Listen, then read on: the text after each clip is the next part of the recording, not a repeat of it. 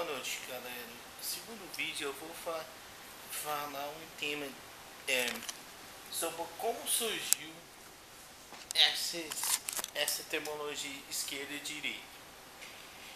Surge primeiramente na Revolução Francesa, mais especificamente no chamado nas, na Assembleia Geral Francesa, onde tinha o primeiro e o segundo estado mais o terceiro estado.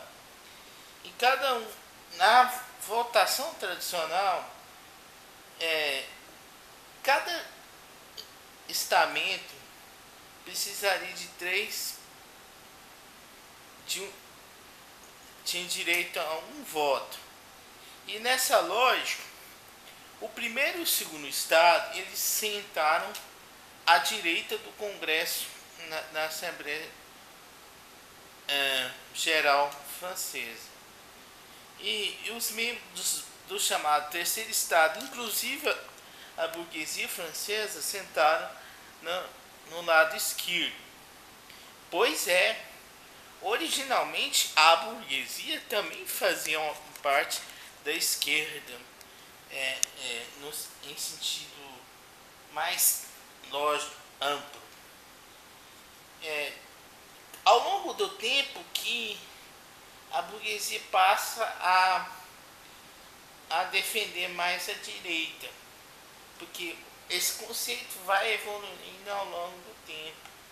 E a denominação que ainda temos hoje é, de, é a chamada denominação marxiniana, é, sendo os, os, os direitistas defensores do sistema capitalista e tendo como base é, a priorização do sistema econômico em detrimento do social. Ou seja, é aquela lógica do ex-presidente Garraças Mendes.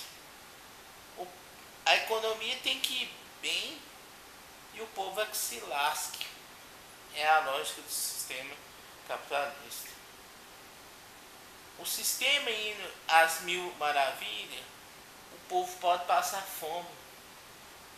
O povo é considerado um, somente uma é, ferramenta de trabalho nas mãos do, dos verdadeiros donos do poder. E eu não estou falando de político em si, não. Quem manda no Brasil são banqueiros. Quem manda no Brasil são oligarcas, são oligopólios. Não são políticos, são apenas peças no tabuleiro de xadrez sórdido dessa elite maldita que sempre mandou e desmandou no Brasil, em nível brasileiro.